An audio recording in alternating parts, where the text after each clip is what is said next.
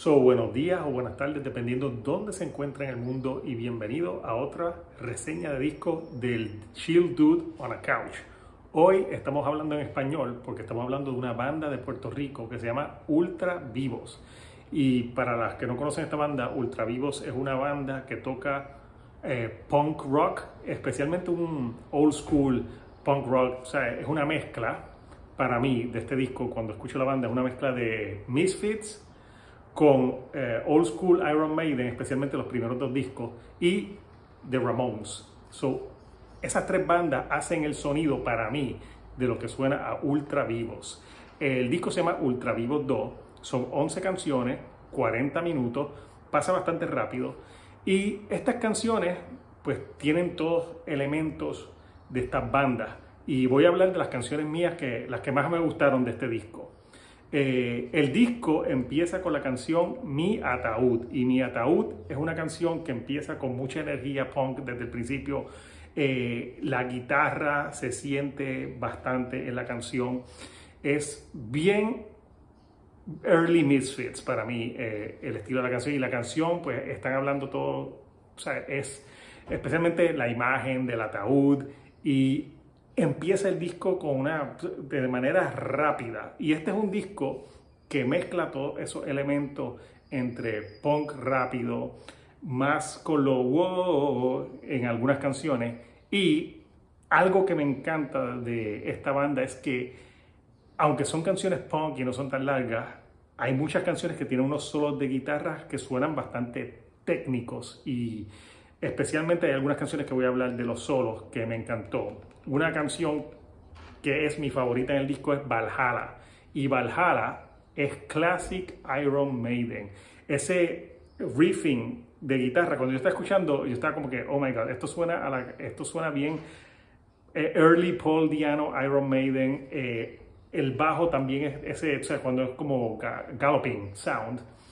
Y es una canción que no es muy larga, es menos de tres minutos, pero tiene esa actitud, attitude, o sea, ese punk energy que me encanta. Yo sé que estoy en español, pero estoy con el spanglish all over. Pero sí, esa canción, la energía me encantó y definitivamente el solo que tiene esa canción en la mitad es, super eh, killers, eh, la influencia y me encantó, es una canción esa y también eh, canciones como Lento, es una mezcla, Lento es una mezcla porque tiene algo que suena bien Misfits, pero hay un solo también que suena bien estilo New Wave of British Heavy Metal.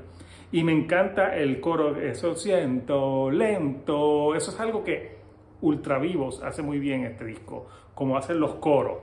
Y cuando hacen los wows, los utilizan de una manera bien. Por ejemplo, en Torbellino de Amor es una que es, esta es más como una balada punk. Y cuando usan lo O en la canción tiene sentido. O sea, no es que lo usan todo el tiempo, porque hay estas bandas punk, especialmente en el pop punk, que lo usan demasiado. Es como que, ok, volvemos con los wow, wow, wows. Que está bien de vez en cuando, pero si es mucho, cansa.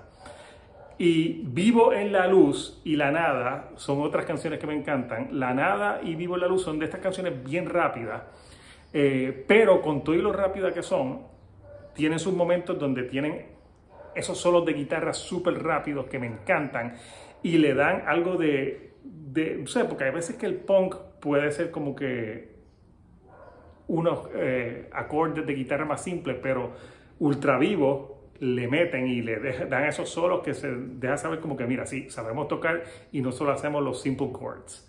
Y eh, me gusta mucho porque la, son bien catchy también las canciones, son pegajosas. Eh, la otra canción que me encantó es Historia de David y Job.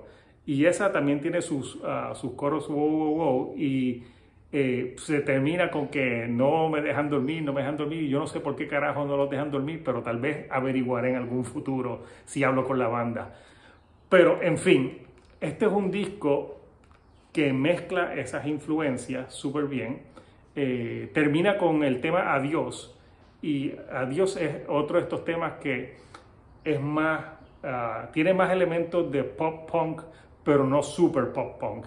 Y termina el disco de una manera más suavecita, pero siempre con energía. Y Ultra Vivo 2 es un disco que tiene mucha energía de principio a fin. Me gusta que tienen solos de guitarra y que esos solos de guitarra no son, son solos que se ve que algunos son complicados. So, me gusta que la banda puede mezclar esa energía punk, pero también dejar saber que pueden tocar. Y por eso, definitivamente, este es un disco que si te gusta el old school punk, no deberías dejar de escuchar. So, ¿Qué pensaste del disco de Ultra Vivo 2? ¿Cuáles son tus canciones favoritas? Déjame saber en los comments. Y si te gustan los videos que estoy haciendo, no te, o sea, dame un like y suscríbete al canal que tengo más contenido en el futuro. So, hasta la próxima. Este Héctor, el Shield Dude on a Couch, y los veo la próxima aquí en el couch. Gracias y buenas noches.